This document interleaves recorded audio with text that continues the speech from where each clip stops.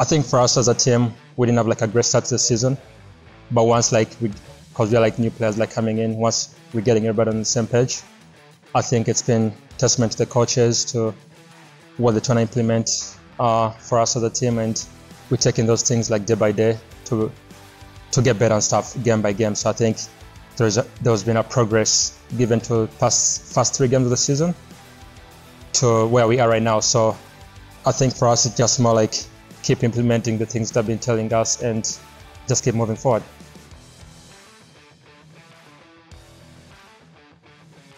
I think as a team we got realized like moments and stuff, especially like first half. I think we played like a, a good half, but like a game's like 90 minutes. You gotta keep the same intensity throughout the game. So I think like first half when we have our chances, like three or four chances, we gotta be able to convert at least three goals and kill the game then and there. And then like second half, just just keep the same intensity, keep the same intensity. It's tough, it's tough, but at the same time is you gotta as the games go on, you gotta be able to do that for 90 minutes. First half is just one half, but the game is like 90 minutes.